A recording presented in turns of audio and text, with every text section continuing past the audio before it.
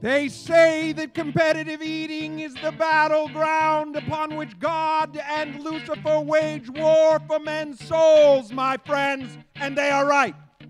For this is a battle for the ages. This is a battle of the titans, that being that is half God and comes to earth only once in only one location, and that is here in the Times Center in New York City for only one purpose, and that is the Wild Turkey 81 Eating World Championship.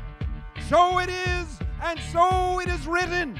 Ladies and gentlemen, let the contest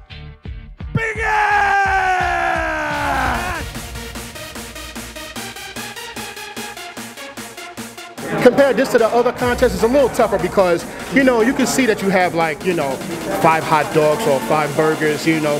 A turkey is just the whole bird. It's, you know, you might get a moment to think, how am I going to attack this thing? You know, should I should I head for the drumsticks, the wings?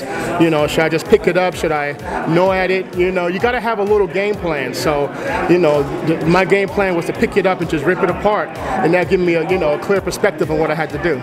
If you know the anatomy of the turkey, you know that the dark meat, the uh, legs and thighs are a little juicier than the breast meat and the and the wing uh, the wings. So uh, I try to uh, eat that first. I was just thinking Walking Dead the whole time. Just just tear that bird apart. What, what, what would a zombie do if this was a, a human eating contest? Three, two, one. Put down your wild turkey 81. With 5.25 pounds, the entire 10 pound roast turkey, Sonya the Black Widow Thomas.